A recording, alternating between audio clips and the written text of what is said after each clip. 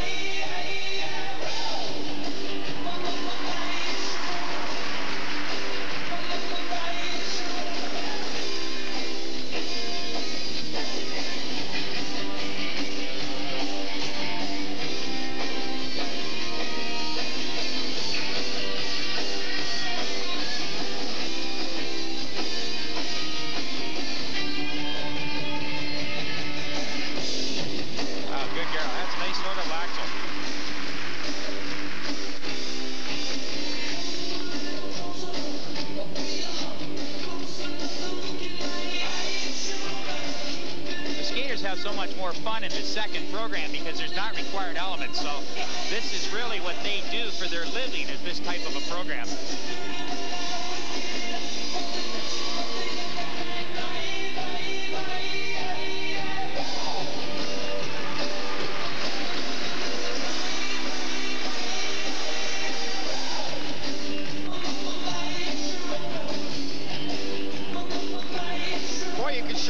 Having fun Yeah, particularly uh, these skaters really, really enjoyed this number. It's sort of the, uh, become their trademark number, and they just love doing it.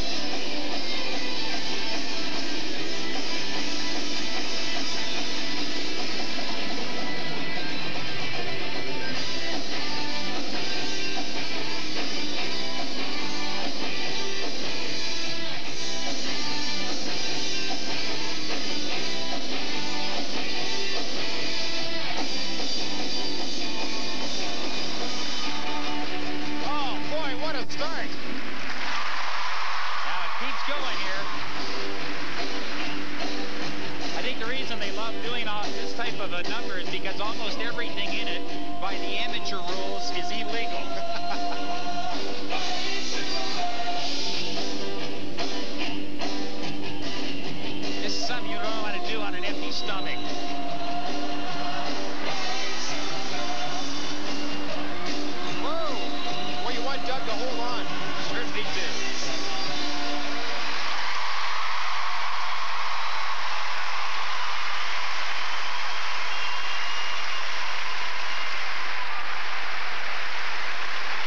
Christine Hough and Doug Ladret.